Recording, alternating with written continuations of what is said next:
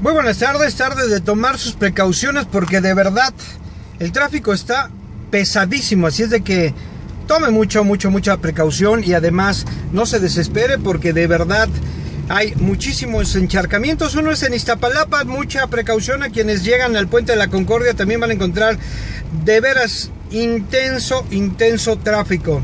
Mucha atención a quienes viajan por Zaragoza, carriles centrales, nos acaban de reportar. También un tráfico pesadísimo por la lluvia, hay mucho encharcamiento, vehículos que ya se han quedado atorados en este encharcamiento, en esta tarde lluviosa. Así iniciamos la semana.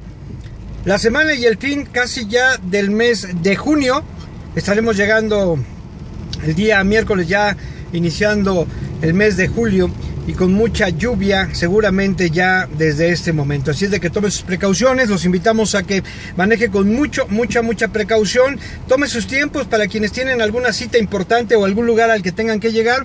Importante que no viajen hacia la avenida de Zaragoza, así es de que tengan mucho, mucho cuidado porque esta zona tiene encharcamientos muy grandes y hay un tráfico pesadísimo, señores. A quienes van a viajar hacia la autopista México-Puebla, desde este momento les aviso que el tráfico será complicadísimo y no hay otro otro lugar porque bueno, como les reportaba hace unos momentos, también Ermita tiene encharcamientos exactamente a la altura del eje 5 y 6, así es de que va a encontrarse con tráfico intenso.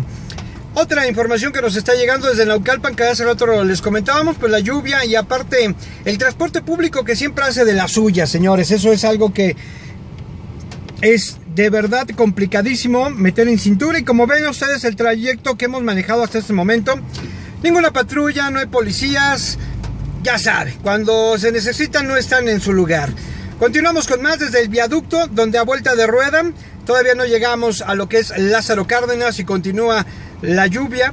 Una lluvia pequeña todavía que sigue cayendo en este punto en la Ciudad de México. No se vaya, continuamos a través de Canal M y el reporte vial.